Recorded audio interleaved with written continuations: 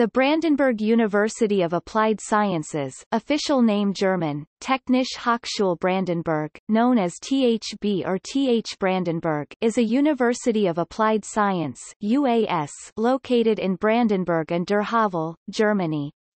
It was founded in 1992 as the Fachhochschule Brandenburg and became the first Hochschule of Brandenburg an der Havel.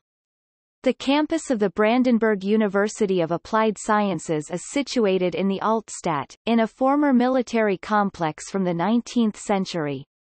The students of the Brandenburg University of Applied Science are being supervised by about 260 employees. The focus of the courses of studies offered in the three faculties is on the so-called STEM subjects.